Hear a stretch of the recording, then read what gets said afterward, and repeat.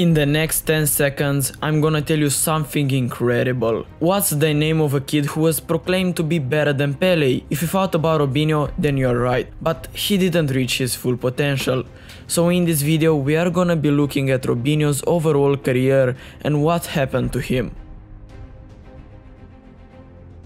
So in this video, we're gonna be looking at Robinho's overall career and what happened to him. He started in Santos and he was one of the best youngsters in the world. In 2002 the Brazilian led Santos to their first Brazilian Serie A since Pele himself. In the next season he won the title again and by this time everyone knew the kid was kind of a big thing. So Real Madrid were the club to secure his signature. The transfer was a success at first as he scored 14 goals in 37 appearances, securing two La Liga titles in his entire time at Real Madrid. But from here, everything went downhill for Robinho.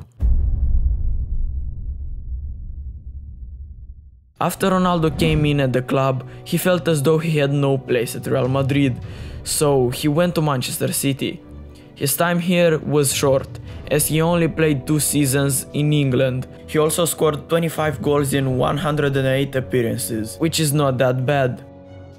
He was granted a last chance at AC Milan, as he signed with them in 2010, but even here he couldn't succeed and he had a catastrophical season.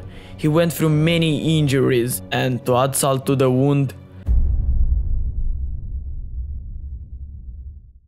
In 2017, an Italian court convicted Robinho of sexual assault in 2013 gang rape. This was the end of Robinho's football career, as he was sentenced to 9 years in prison. And that's how Robinho went from being Pele's successor to reaching rock bottom.